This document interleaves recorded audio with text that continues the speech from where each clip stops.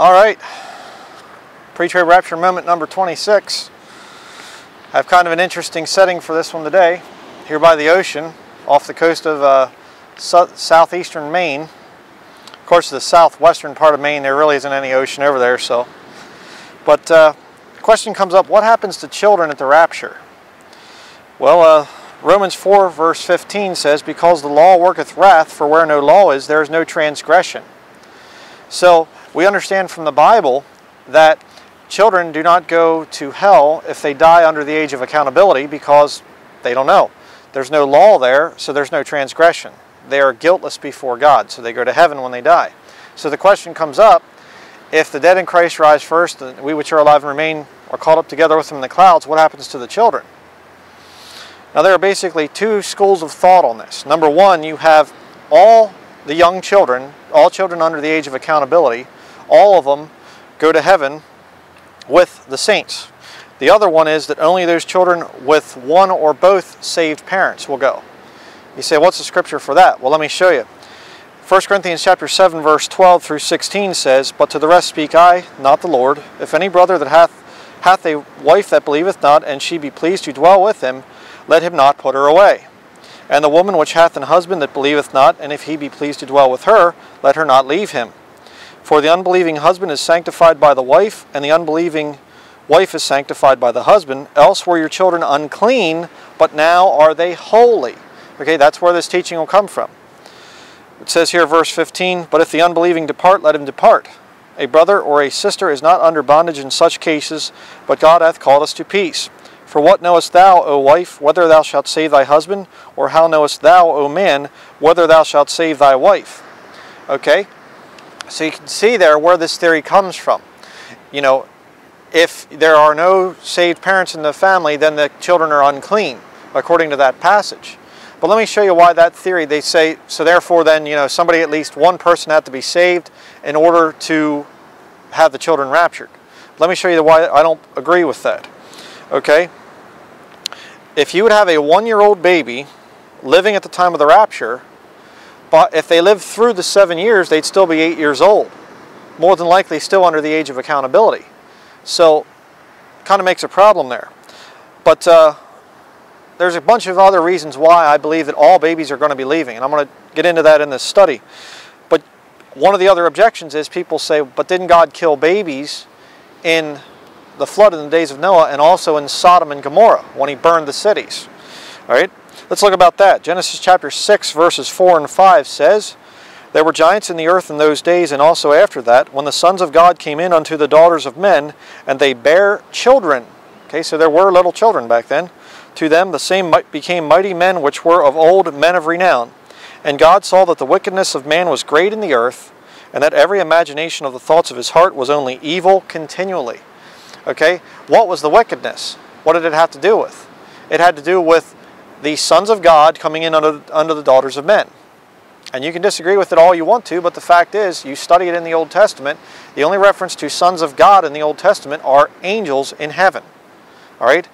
Job chapter 1. Look it up. But let's see Genesis chapter 6, verses 11 through 13. It says here, The earth also was corrupt before God, and the earth was filled with violence. And God looked upon the earth, and behold, it was corrupt. For all flesh had corrupted his way upon the earth. And God said unto Noah, The end of all flesh is come before me, for the earth is filled with violence through them, and behold, I will destroy them with the earth. So we have a different situation back there in the, in the flood in the days of Noah. What was going on? All flesh was corrupt.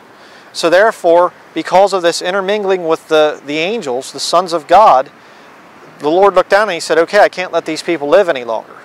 Okay, not the same thing as today. Today there are people that are just as lost as you could be, but they haven't intermingled with angels. So it's not that all flesh has corrupted his way upon the earth right now. It was in the days of Noah. Okay?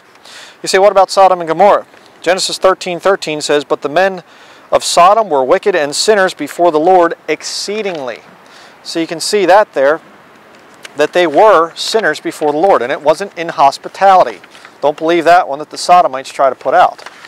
Genesis chapter 18, verse 20 through 23 says, And the Lord said, Because the cry of Sodom and Gomorrah is great, and because their sin is very grievous, I will go down now and see whether they have done altogether according to the cry of it, which is come unto me, and if not, I will know.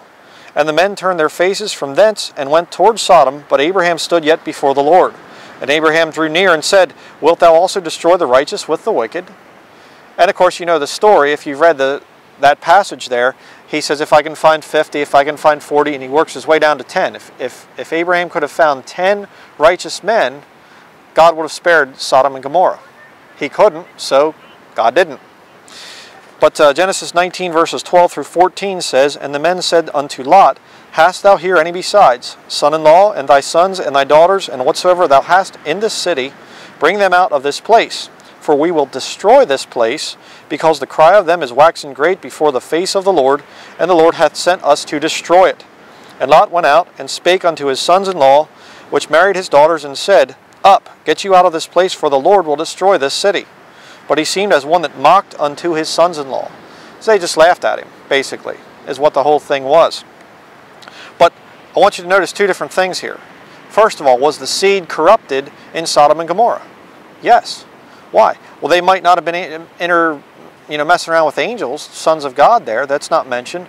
But the fact is, with sodomy, there's probably all kinds of sexually transmitted diseases going on, and they're messing around and messing around, and, you know, who knows what these children had in them. Okay? So, yeah, God had to come in and destroy that. It's not the same thing as the rapture. All right? That's very important to get. Secondly, the destruction of Sodom and Gomorrah, was it worldwide or local? Local. It was not a worldwide judgment, as it was in the days of Noah and as it will be in the time of Jacob's trouble. Very important to understand that. Now, here's why I believe that all babies are leaving at the rapture. Okay? Why is there such hatred for saved people in the time of Jacob's trouble.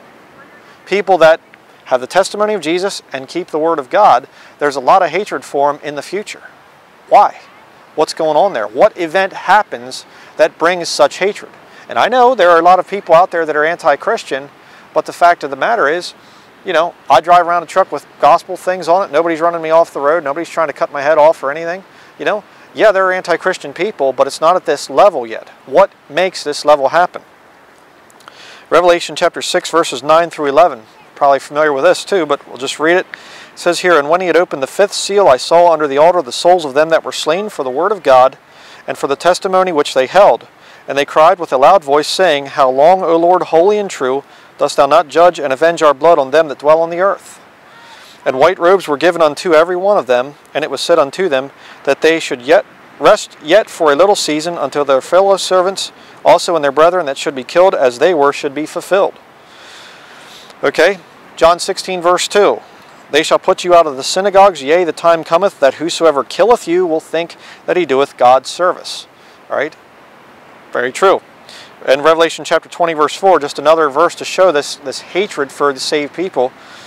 It says here, And I saw thrones, and they sat upon them, and judgment was given unto them. And I saw the souls of them that were beheaded for the witness of Jesus, and for the word of God, and which had not worshipped the beast, neither his image, neither had received his mark upon their foreheads or in their hands. And they lived and reigned with Christ a thousand years. So you see there three different passages where there's such hatred for saved people in the time of Jacob's trouble. Just incredible hatred, you know. What causes it? Well, I believe it's going to be the rapture and all the babies leaving with us. They're going to blame it on us, Bible believing Christians. They're going to say it was a terrorist attack and that we somehow got rid of the babies. Think about that. You say, what about uh, newborn, or what about, you know, are there mentions of children or small babies in the time of Jacob's trouble? Yeah. But look at the reference. Matthew chapter 24, verse 19 says here, And woe unto them that are with child, and unto them that give suck in those days. Are those children that have been three, four, five years old? No. Those children are newborn babies. So the children could be removed at the rapture and babies born after that. All right? And they're born into that time, so sorry, there's not much you can do for them. But interesting here, Revelation 13, verses 16 and 17, another little interesting point. It says, And he causeth all, both small and great, rich and poor, free and bond, to receive a mark in their right hand or in their foreheads, and that no man might buy or sell, save he that had the mark, or the name of the beast, or the number of his name. Where's there a mention of children? You say, well, small. Yeah, but the thing is, the opposite of a small child is not a great adult. It would be a big adult. Why would it say small and great? I think it's talking about position in society, small and great. There's no mention of children. And why are they taking the mark? To buy or sell? Why would a young child be concerned about buying and selling? Could it be that there are no children in that time? Very possible. And again, that would explain the intense hatred towards saved people at that point in time. Now I'm going to get you into one final verse of scripture here, and this is a key. Okay, this is key to understanding this whole thing. And I've read through this thing, I've taught through it, you know, I've done expository studies on it and things, and I mean, you know, I've basically I was teaching it the wrong way, really, honestly, because as I was doing this study, I prayed about this thing and I went over it, and I just pored over the scripture and just, Lord, what is this, what is this really saying? And I'm going to show you what the Lord showed me. 1 Thessalonians chapter 5, verse 3. For when they shall say peace and safety, then sudden destruction cometh upon them, as travail upon a woman with child, and they shall not escape. Now the traditional way you explain that is you say, people in the world are saying that they want peace and safety, and the time of Jacob's trouble comes, and they don't escape it. Okay, they don't get out in the rapture. That's the traditional explanation. But actually look at the verse. When they shall say, Peace and safety, then sudden destruction cometh upon them, as travail upon a woman with child. Wait a second. Travail upon a woman with child, when a woman is getting ready, when she's having her labor pains, is that destruction coming upon her? No. That's the time she's been waiting for for nine months. You know, unless it's premature, then it's sooner. but the point is, it's not destruction that's coming upon her. Why is it saying there, as travail upon a woman with child? Now I'm going to give you the uh, interpretation here that I believe is the right one in light of this thing of children leaving. When they shall say, who's the they? The parents. Specifically so the mother. What do parents want most for their baby? Peace and safety. Stick with me here. Peace and safety. You know, shh, the baby's sleeping. Shh, shh. They put the baby in a crib with all the, everything's all padded and everything else so the baby can't roll over and all this. Put pillows in so that they can't roll over and lay on their face and thing. They want peace and safety. They say, the parents say, peace and safety. Then sudden destruction cometh upon them. What would the destruction be? The baby leaves. Would that not be destruction? And what would that cause with the mother? It would cause uh, travail, wouldn't it?